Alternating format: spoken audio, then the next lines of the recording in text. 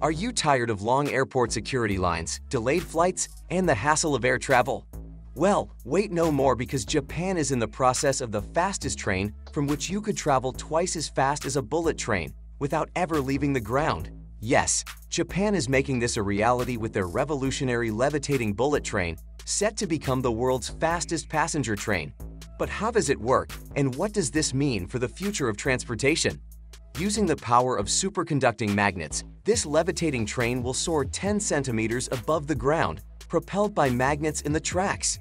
At a top speed of 311 miles per hour, this train will cut journey times in half and move at twice the speed of old bullet trains. And the best part, it will be completely autonomous, making accidents much less likely. But this isn't just a cool concept, it's a practical solution to many transportation problems.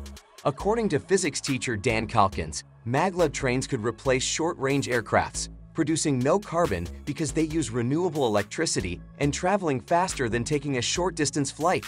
This technology could lead to an increase in trains worldwide and make travel more efficient and environmentally friendly. Of course, there are some downsides. The levitating bullet train won't be able to hold as many passengers due to its smaller carriages, and it will be more expensive to run once completed as it consumes more energy than regular high-speed trains. Additionally, building maglev trains is very expensive.